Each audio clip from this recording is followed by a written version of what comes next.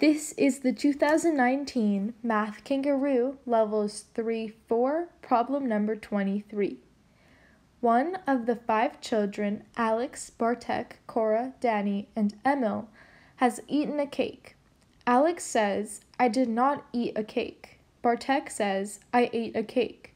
Cora says, Emil has not eaten a cake. Dani says, I did not eat a cake. Emil says, Alex has eaten a cake. One of the children lies. Which child has eaten the cake? A. Alex, B. Bartek, C. Cora, D. Dani, or E. Emil. Let's start by noting that what Alex says, I did not eat a cake, and Emil says Alex has eaten a cake, one of the statements must be wrong because they're conflicting. If what Emil says is true, then what Alex says is not true.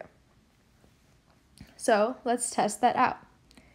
If Alex is lying, and that means he did eat the cake,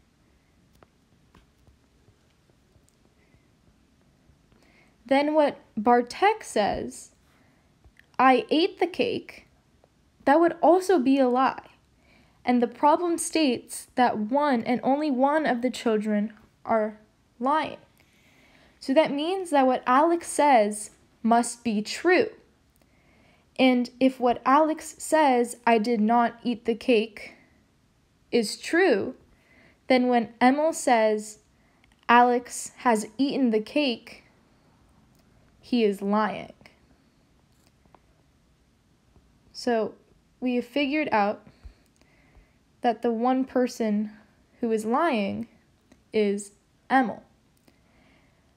And because only one person is lying, the rest of the statements must be true. So when Bartek says, I ate the cake, he is telling the truth. Because the question asks which child has eaten the cake, and we know it's Bartek, Answer choice B must be correct. Thank you so much for watching and please like, comment, and subscribe.